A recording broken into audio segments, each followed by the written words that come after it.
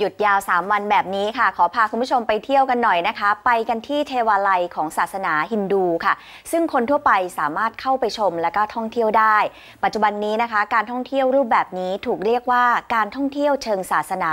กำลังเป็นที่นิยมเลยค่ะของนักเดินทาง ไปแล้วเนี่ยเหมือนกับได้ยกระดับจิตใจ ให้ได้รับแต่พลังงานดีๆ มาสู่ตนเองนะคะ ไปติดตามจากรายงานของคุณสิทธิกรจันทสารค่ะ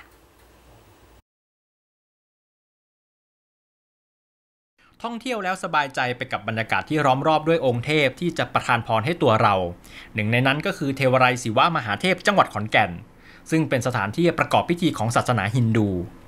ซึ่งจุดแรกที่เราเข้ามาจะได้พบกับสตูดิโอแต่งชุดแบบชาวอินเดีย เราได้ลองแต่งกายด้วยชุดซารีในแบบของผู้ชาย ตามคำแนะนำของมักคุเทศ เพื่อจะได้ถ่ายรูปดูแล้วสวยงามเข้ากับบรรยากาศของสถานที่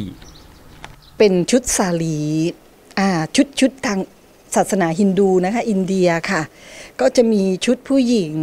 ชุดผู้หญิงก็จะมีหลายแบบนะคะ เป็นสาลีเป็นแรงก้า เป็น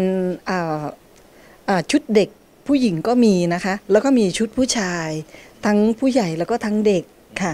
เนี่ยอย่างอย่างของอย่างผู้ชายชุดผู้ใหญ่ก็จะเป็นเหมือนที่คุณบอยใส่อยู่นะคะ บรรยากาศในเทวาลัยศิวะมหาเทพจังหวัดขอนแก่น เมื่อเราได้เข้ามาจะได้พบกับรูปปั้นขององค์เทพมากมาย เช่น พระศิวะ องค์พระพิคเนศองค์อมรินทราธิราชเจ้า ช้างเอราวัณ พระตีมุรติ พระกิษณะเจ้า พระแม่ศรีมหาอุมาเทวี พระพรหม พระแม่ธรณี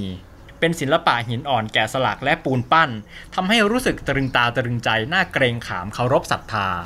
จุดเด่นของเทวไลยศิวะมหาเทพจังหวัดขอนแก่นที่ต้องขึ้นมาสัมผัสให้ได้ คือแดนสุทธรามาศพรมที่รวบรวมมหาเทพ โดยมีองค์ประธานคือพระศิวะ เป็นจิตรกรรมที่ลงรักปิดทองทั้งชั้น ที่สะท้อนให้เห็นถึงพรมโลกที่มีแต่ความงดงาม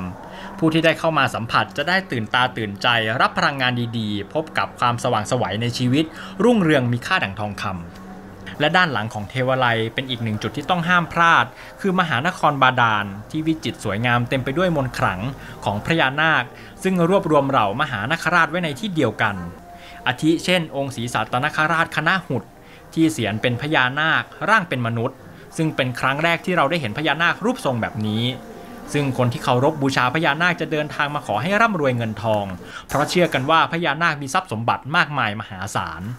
และยังมีรูปปั้นขององค์มหาอนันตนาคา ซึ่งเป็นกษัตริย์แห่งพญานาคมีความยาว 50 เมตร ซึ่งคนในภาคตะวันออกเฉียงเหนือรู้จักกันเป็นอย่างดี เราได้พูดคุยกับบาบา ซึ่งเป็นผู้ที่ก่อตั้งได้ให้ข้อมูลว่า ก่อตั้งเทวาลัยแห่งนี้มาแล้ว 13 ปี เพื่อเป็นสถานที่ประกอบพิธีกรรมของศาสนาฮินดู ในปัจจุบันมีประชาชนทุกศาสนาเดินทางมากราบไหว้ขอพร เพื่อให้ชีวิตมีความเจริญรุ่งเรือง ร่ำรวยมีความสุขและที่สำคัญยังเป็นสิ่งที่ยึดเหนี่ยวจิตใจให้กับมนุษย์ได้เป็นอย่างดี ท่ามกลางความสับสนวุ่นวาย มนุษย์กลัวจน มนุษย์กลัวทุกข์ มนุษย์กลัวต้องกลับมาเกิดใหม่ มนุษย์กลัวกลัวกลัวกลัว เลยหาที่พึ่ง เรียกว่าผู้นำศาสนา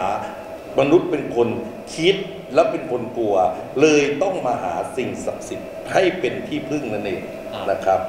อย่างไรก็ตามในปัจจุบันการท่องเที่ยวเชิงศาสนาได้รับความนิยมเป็นอย่างมาก นอกจากจะได้พักผ่อนยังเป็นการยกระดับจิตใจทำให้คิดดีทำดีไม่เบียดเบียนผู้อื่น เกิดความสงบสุขในจิตใจอีกด้วย สิทธิกรจันทสารสำนักข่าวไทยอสมทรายงาน